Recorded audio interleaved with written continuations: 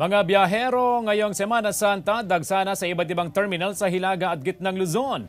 Yan ang tinutukan live ni Claire Lacanilaw. Claire?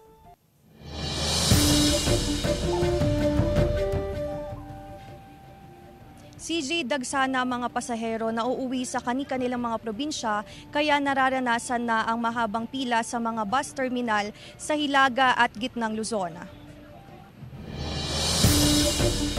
Umaga pa lang, dagsana ang mga pasahero sa bus terminal na ito sa Lawag City, Ilocos Norte. Karamihan ay mga estudyante na pauwi ng Cagayan at Isabela at ang ilan naman ang biyaheng Maynila. Nakaranas ng kakulangan sa bus unit dahil sa dami ng mga pasahero. Umaabot sa mahigit 20 ang biyahe sa bus terminal na ito sa Vigan City, Ilocos Sur. Nasa 30 minutes ang trip interval dahil sa dami ng mga pasahero. Asahan pa raw na mas dadagsa ang mga pasahero bukas hanggang sa linggo. Pila-pila ang mga pasaherong bumibili ng tiket sa bus terminal na ito sa Dagupan City. Karamihan sa mga pasahero, pauwi ng Zambales. Simula ngayong araw hanggang sa linggo, inaasahang aabot sa 20,000 ng babiyahing pasahero. Nakaalalay ang pulisya sa seguridad ng mga pasahero. We will be utilizing our tactical motorcycle riding unit for purposes of uh, traffic. Nagsimula ng dumami ang pasahero sa Dao Terminal sa Mabalacat City, Pampanga. Inaasahan daw na abot sa mayigit 100,000 na katao ang babiyahe ngayong araw hanggang biyernes.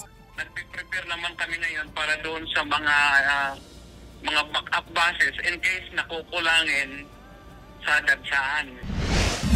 dagsaan. Dagsana rin ang mga turista sa iba't ibang pook pasyalan sa Baguio City. Mas malamig po kasi, tapos masaya, enjoy po. Marami pong mga papasyalan po. Posible raw na umabot sa 100,000 ng mga bibisitang turista sa City of Pines ngayong Semana Santa. Kaya todo bantay ang mahigit isang libong pulis na ipinapakalat sa mga matataong lugar sa lungsod. Sila po yung tumutulong sa pag-assist sa mga motorista na paakyat po ng Bagyo, lalong-lalong pa yung mga baguhan. O nag-guide din po sila sa mga pwedeng alternate route no, na pasukan para po hindi kailangan pumasok ng CBD.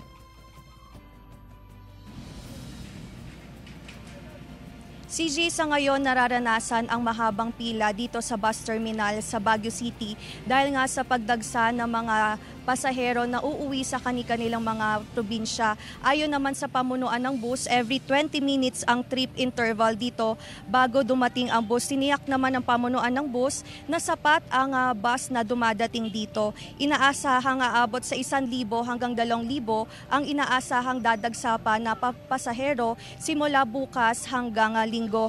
Paalala naman ng Baguio City Police Office sa mga turista at aakyat sa Baguio City na iwasang dumaan sa Central Business District at dumaan na lamang sa mga alternatibong ruta upang makaiwas sa mabigat na daloy ng trapiko.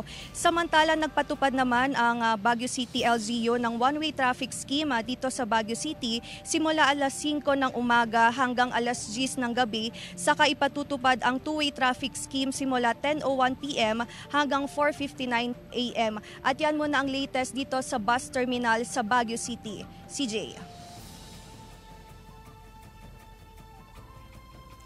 Maraming salamat, Claire Lacanilaw.